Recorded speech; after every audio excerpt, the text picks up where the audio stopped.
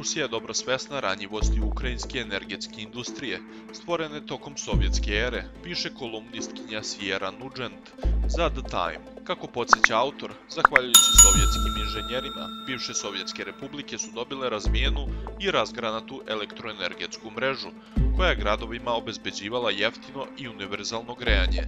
30 godina nakon što su zemlje stekle nezavisnost, uprkos ozbiljnom pogoršanju kvaliteta usluga zbog nedovoljnih ulaganja, daljinsko grejanje i dalje čini ogromni deo proizvodnje toplotne energije u Estoniji, Litvaniji i Slovačkoj. Ukrajini od 2021. godine 53% gradskih domaćinstava se još uvek oslanjalo na njega, navodi se u članku. Prema Nudžentovoj, energetska industrija Ukrajine ima ključnu ranjivost. Moskva ima veliko znanje o toplotnom sistemu izgrađenom tokom sovjetske ere, zaključuje novinarka. Oružane snage Rusije počele su da izvode raketne udare 10. oktobra na ukrajinsku energetsku infrastrukturu, dva dana nakon terorističkog napada na Krimski most, iza kojeg ruske vlasti veruju da stoje ukrajinske obaveštajne agencije.